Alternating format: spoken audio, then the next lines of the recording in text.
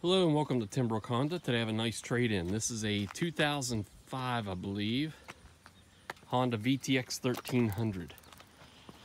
2004, yeah, 2005. Has a total of 23,829 miles on it. The uh, red really pops out on this in the sun. It's got a lot of extras on it. I'll Try to show you a few of them that I could point out. Looks like the light bar it looks like it's factory. It's got a cover over the caliper. It's got some chrome accents. It's got the engine bar or guards. It's got the uh, like an LED fog light, I guess, down there on the bar. It's got highway pegs. It's got the footrest. It has aftermarket grips. It has a uh, set of speakers for your phone. I'm pretty sure the phone plugs in here I'd show you, but I have an iPhone 10, so mine doesn't have the plug. It's got the plug right here. It works. We did try it. It's got the bag on the back of the windshield and the front of the windshield. Has a windshield on it. Has a Mustang leather cover over the tank. Um, everything underneath the tank looks good. This bike has not yet been detailed also. It's got a Mustang seat, two up seat. It's got the backrest, luggage rack, it's got the saddlebags. They're the leather, the hard leather bags. They look like uh, factory Honda bags. Not sure. It's got the rear footrest. As you can see, a good bit of chrome on the bike. Very clean, very nice. I looked all over the bike. I don't see any damage on the bike. I see a little mark right here. Might be able to buff off most of it, but that is into the clear coat I could see. Me see what else. The two bolts, the heads on the top of the bolts are missing on this windshield, so the windshield will move a little bit.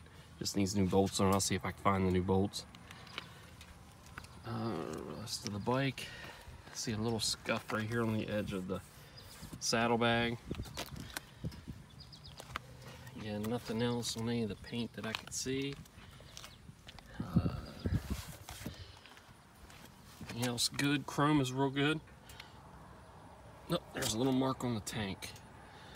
Right there. I don't know if you can see it or not. Little mark right there. I'll try to buff some of that out, but it does look like a little mark and a little bit of a ding.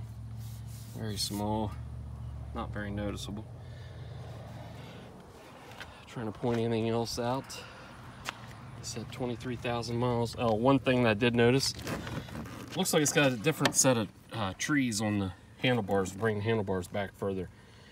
And I'm finding that the speaker right here, as you can see, bumps into there a little bit. The all the way down at the bottom, it bumps in there, and then the tree over here at full turn will bump into the trip meter. If it hits hard enough, or hits it enough, it'll switch it over to the trip meter. So that's kind of a pain don't know if we can adjust that around or not. I don't think we can, but I'll take a look at it. That's all I could see on it. Start it up here. It's carbureted bike, runs great. Put a couple miles on it, about four or five so far. I'll put another five or ten miles Make sure nothing else.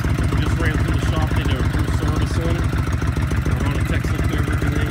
Everything's good, did a 50 point check on it.